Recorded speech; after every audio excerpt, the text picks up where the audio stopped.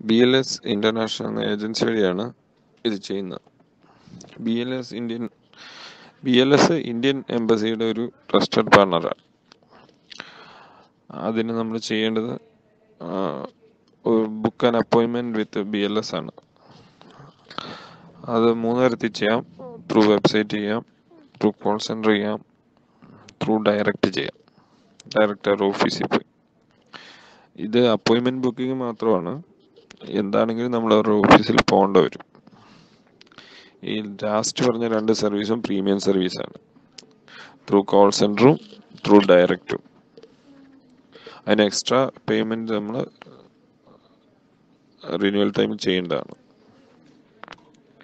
ഇനി എങ്ങനെ ബുക്ക് ചെയ്യാം ഒരു അപ്പോയിൻമെന്റ് എങ്ങനെ ബുക്ക് ചെയ്യാമെന്ന് നോക്കാം. Through website normal service B L S international വെബ്സൈറ്റിൽ പോവുക അവിടെ ബുക്ക് അപ്പോയിൻമെന്റ് ബുക്ക് അപ്പോയിന്റ്മെന്റ് എന്ന് പറഞ്ഞ ലിങ്ക് കാണാം.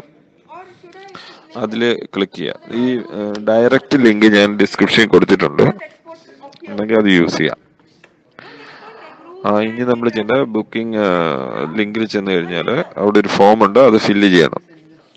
ഫസ്റ്റ് കോൾ സെന്റർ തിരഞ്ഞെടുക്കുക. നമ്മുടെ ലൊക്കേഷൻ ഷാർജ ആണെങ്കിൽ ഷാർജ അബുദാബി ആണെങ്കിൽ അബുദാബി ദുബായ് ആണെങ്കിൽ ദുബായ്. സെക്കൻഡ് സർവീസ് ടൈപ്പ് അതായത് നമ്മുടെ ഈ കേസിൽ പാസ്പോർട്ട് സെക്കൻഡ് ഡീറ്റെയിൽഡ് സർവീസിനെ കുറിച്ച് ചോദിക്കുന്നുണ്ട്. അത് നമ്മൾ reissue or renewal of passport choose ചെയ്യുക പിന്നെയുള്ള main thing date and time choose ചെയ്യുക എന്നുള്ളതാണ്. അത് നമ്മൾ ഡേറ്റ് ഫസ്റ്റ് ചൂസ് ചെയ്യുക അപ്പോൾ തന്നെ അവർ പറയും ആ ഡേറ്റിൽ സ്ലോട്ട് അവൈലബിൾ ആണോ എന്ന്. അവൈലബിൾ ആണെങ്കിൽ ടൈം കൂടെ കൊടുക്കുക. അല്ലെങ്കിൽ നെക്സ്റ്റ് ഡേ ചൂസ് ചെയ്യുക അങ്ങനെ ആ ടൈമും ഡേറ്റും ചൂസ് ചെയ്ത് കഴിഞ്ഞാൽ പിന്നെ പേഴ്സണൽ ഡീറ്റെയിൽസ് കൊടുക്കുക. Name mobile passport number email പിന്നെ എന്തെങ്കിലും അഡീഷണൽ ഡിസ്ക്രിപ്ഷൻ നമുക്ക് കൊടുക്കാനുണ്ടെങ്കിൽ അതും കൊടുക്കുക. ഇത്രയും ചെയ്ത് കഴിഞ്ഞ് സബ്മിറ്റ് ചെയ്ത് കഴിഞ്ഞാൽ നമുക്കൊരു ബുക്കിംഗ് കൺഫർമേഷൻ ഇമെയിൽ കിട്ടും. അത് പ്രിന്റ് എടുത്ത് സൂക്ഷിക്കുക. പിന്നെ ചെയ്യേണ്ടത് അപ്പോയിന്റ്മെന്റ് ഡേറ്റിൽ നമ്മൾ ഏത് സെന്ററിലാണ് പറഞ്ഞിരിക്കുക ആ സെന്ററിൽ പോവുക ആ ടൈമിന് നമ്മൾ പറഞ്ഞ ടൈമിന് ഒരു ടെൻ മിനിറ്റ്സ് ബിഫോർ പോവാം. പിന്നെ ചെയ്യേണ്ടത് നമ്മൾ റിസപ്ഷൻ ചെന്ന് ഈ അപ്പോയിന്റ്മെന്റ് പ്രിന്റ് നമ്മുടെ ഉണ്ട് അത് കൊടുക്കുക. അപ്പോൾ അവർ റിക്വയർഡ് ഡോക്യുമെന്റ്സ് നമ്മുടെ കയ്യിലുണ്ടെന്ന് ചോദിക്കും. എന്തൊക്കെ ഡോക്യുമെന്റ്സ് വേണ്ടതെന്ന് വെച്ചാൽ ഒറിജിനൽ പാസ്പോർട്ട് വേണം ഒറിജിനൽ എമിറേറ്റ്സ് ഐ ഡി വേണം പിന്നെ ഫോട്ടോ വേണം. ഫോട്ടോയുടെ ഡയമെൻഷൻ പ്രത്യേകം ശ്രദ്ധിക്കണം. ടു ഇന്റു ടു ഇഞ്ചാണ് അല്ല fifty one millimetre into fifty one millimetre ആണ് വേണ്ടത്. പ്രത്യേകം ശ്രദ്ധിക്കണം. പാസ്പോർട്ട് സൈസ് അല്ല. പിന്നെ ഫോട്ടോ കോപ്പീസ് ഓഫ് ഡോക്യുമെന്റ്സ് അതായത് പാസ്പോർട്ടിന്റെയും എമിറേറ്റ്സ് ഐ ഒക്കെ ഫോട്ടോ കോപ്പി ഉണ്ടെങ്കിൽ അത് നമ്മൾ കയ്യിൽ കരുതണം.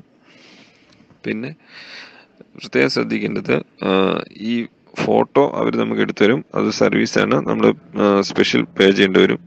ഫോട്ടോ കോപ്പി അവർ എടുത്തു തരും അത് നമ്മൾ പേ ചെയ്യേണ്ടി വരും.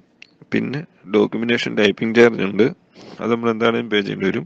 പിന്നെ കൊറിയർ ചാർജ് ഉണ്ട്. ഡീറ്റെയിൽ ആയിട്ട് ഫീസ് എത്ര വരും ഞാൻ പറഞ്ഞുതരാം. ഒന്ന് പാസ്പോർട്ടിന്റെ റിന്യൂവൽ ഫീ ആയിട്ട് ത്രീ ഫോർട്ടി വൺ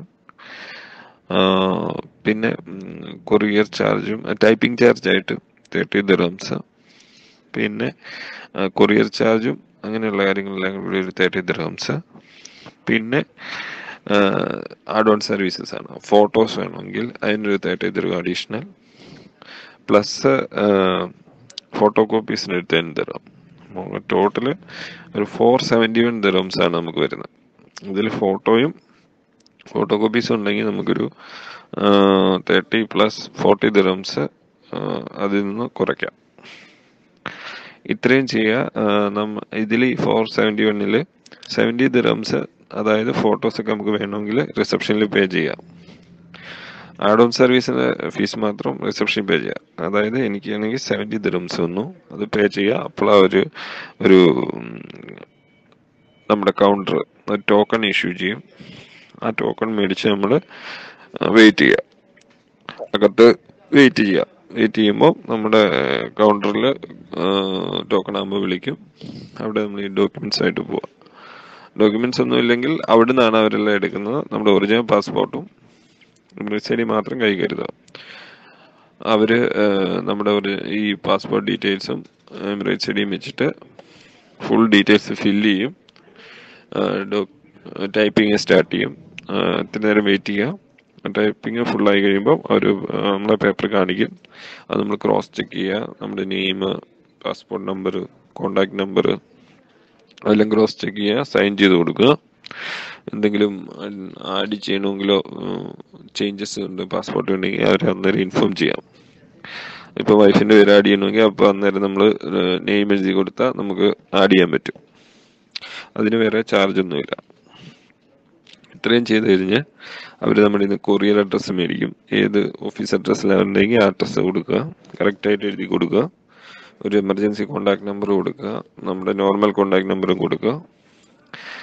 ഇത്രയും കഴിഞ്ഞാൽ പ്രൊസീജിയർ കഴിഞ്ഞു. നമ്മൾ ഫോട്ടോ എടുത്തിട്ടില്ലെങ്കിൽ ഈ ഇതിന്റെ ഇടയ്ക്ക് അവർ നമ്മളെ കൊണ്ടുപോയി ഫോട്ടോ എടുത്തോളും. ബാക്കി ഫോട്ടോ കോപ്പീസും കാര്യങ്ങളെല്ലാം അവർ അന്നേരം തന്നെ അറേഞ്ച് ചെയ്യുന്നു. എല്ലാം അവിടെ തന്നെ കൗണ്ടറിൽ തന്നെ. വേറെ അടുത്ത് നമ്മൾ അഡീഷണൽ പോകേണ്ട ആവശ്യമില്ല. ഇത്രയും ചെയ്ത് കഴിഞ്ഞാൽ പ്രൊസീജിയർ കഴിഞ്ഞു. പിന്നെ അവർ നമുക്ക് റെസിപ്റ്റ് തരും. എല്ലാത്തിനെയും റെസിപ്റ്റ് നമ്മൾ തരും. ഈ കൊറിയർ സർവീസ് വരുമ്പോൾ നമ്മൾ ഈ റെസിപ്റ്റ് കാണിക്കുക പാസ്പോർട്ട് കൈവറ്റുക അതാണ് നോർമലുള്ള പ്രൊസീജിയർ പ്രീമിയം സർവീസിന് പ്രീമിയം സർവീസ് മീൻസ് നമ്മൾ അവിടെ കോൾ സെന്റർ വഴി ബുക്ക് ചെയ്യുമോ അല്ലെങ്കിൽ ഡയറക്റ്റ് എടുത്ത് ചെല്ലുവാണെങ്കിൽ അതിന് വരുന്നത് എക്സ്ട്രാ ടു ഹൺഡ്രഡോട് വരും. Around six six seventy one six forty one ആ റേഞ്ച് ഒരു സർവീസാണ് ഫീസാണ് അവർ ഇതിനു വേണ്ടി ഈടാക്കുന്നത്.